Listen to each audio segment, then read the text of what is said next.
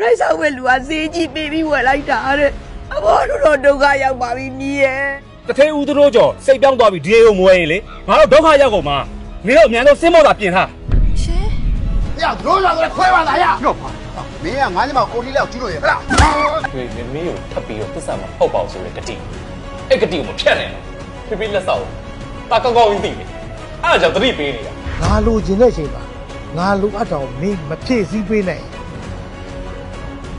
သရိုးကြုံဂျင်းထက်ပြီးနွားဆက်ပြုံးခဲ့တဲ့အကြောင်းငါအမှန်တိုင်းဖွင့်ပေါ်တ